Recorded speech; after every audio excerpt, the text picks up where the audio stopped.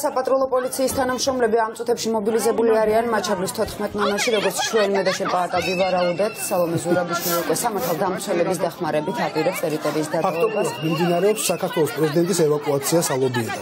არის სპეცოპერაცია ხო სალომე ზურაბიშვილმა იმის ნახოთ, რომ გამოვიდეს აქციის მონაწილეებთან და განცხადება გააკეთოს ქვეყანაში შექმნილ უმწვავეს კრიზისზე, ის არჩევანს საკეთებს აი სპეციალური სამართალდამცველების დახმარებით გავიდეს ტერიტორიიდან ის ალბათ უბრალოდ გაიპარება მაჩაბის 14 ნომრიდან.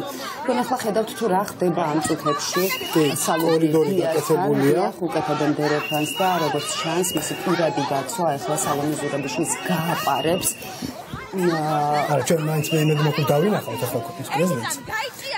კეთაცის ქიშვილი უფრო დეტალურად გეტყვის ახლა ემოციურად რა ხდება ადგილზე. კეთა შენ პირდაპირ ეთერში ხარ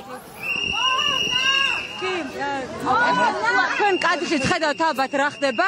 საპატრულო პოლიცია მოვიდა აქ და შეიძლება ითქვას ძალის გამოყენებით სირცხვილეს წარმომადგენლების და ასევე ჟურნალისტებიც გადმოგვიყვანეს გაათავისუფლეს ტერიტორია იმისთვის რომ სალომე ზურაბიშვილი თავისუფლად ამოვიდეს სალობიედან, სადაც მან ივახშმა და იმის გამო რომ დისკომფორტი შეექმნა აქ აქციის მონაწილეების მობილიზები და ასევე ჟურნალისტების აქ ყოფნით, სწორედ ამიტომ ძალოვანი უწყების წარმომადგენლები პრეზიდენტისთვის მოვიდნენ აქ, რომ ჩვენ გავეყვანეთ ოდნავ გვერდზე ტერიტორიიდან, რომ მან თავისუფლად შეძლოს სალობიედან ამოსვლა, საკუთარ მანქანაში ჩაჯდომა და რა ამ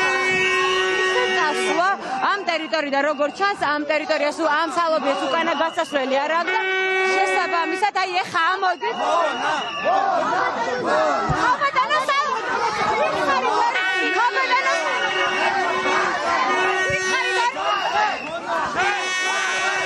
სალომე ზურაბიშვილი ხარ რა მანქანაში